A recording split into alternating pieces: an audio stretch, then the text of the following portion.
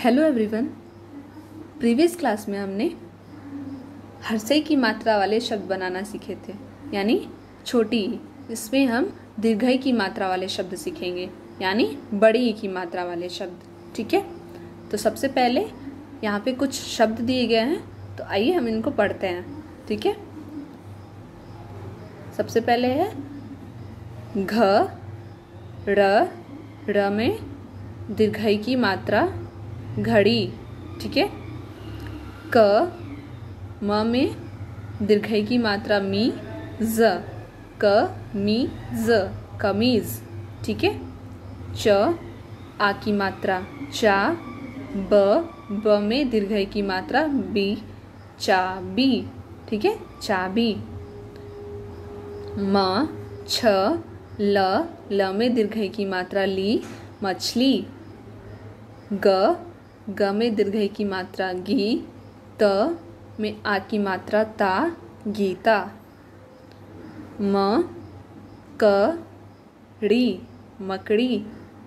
छ, त, री, छतरी। ब, क, री, बकरी।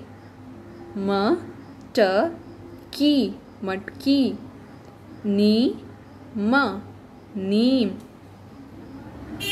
ची ता, चीता, मी, रा, मीरा, नी, ला, नीला, ची, ल, चील, खी, रा, खीरा, ठीक है? तो आप लोग भी इसको ऐसे ही पढ़ोगे, ठीक है? एटलीस्ट एटलीस्ट इसको टू या थ्री टाइम्स आप लोग पढ़ोगे, फिर इसको बनाना, ओके?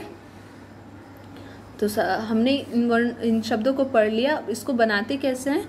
चलिए देखते हैं। सबसे पहले आप यहाँ पे लोगे न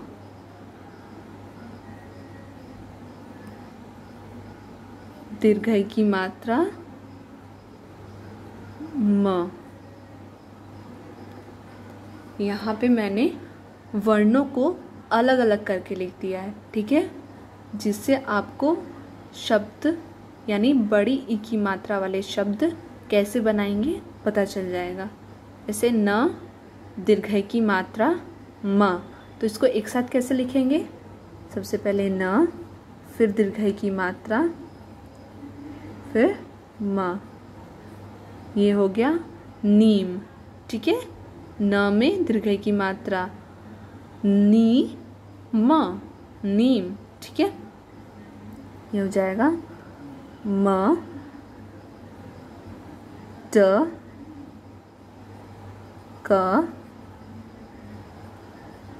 क में यहाँ पे है दीर्घई की मात्रा। तो यहाँ पे म, ट, क और दीर्घई की मात्रा। इसको कैसे लिखेंगे? सबसे पहले म फिर ट फिर क क में दीर्घई की मात्रा। तो ये जाएगा मटकी, ठीक है?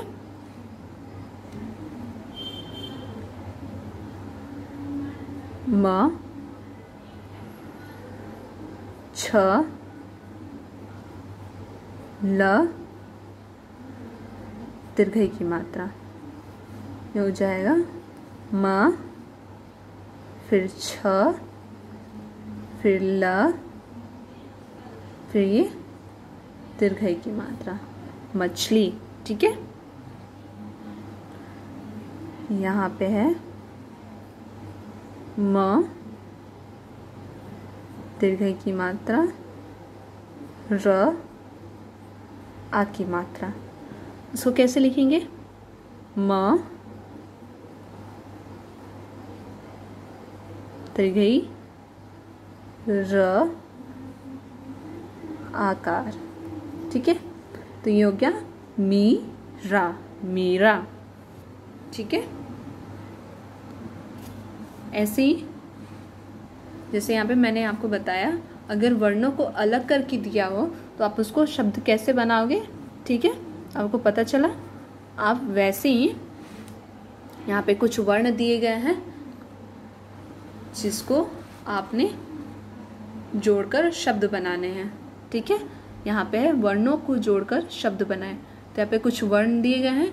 जैसे यहाँ पे है च में फिर से दीर्घई की मात्रा, ल। तो कैसे लिखोगे? च च में दीर्घई की मात्रा, फिर यहाँ पे ल। चील। ठीक है? तो ऐसे ही आपको ये सारे बनाने यहाँ पे। Okay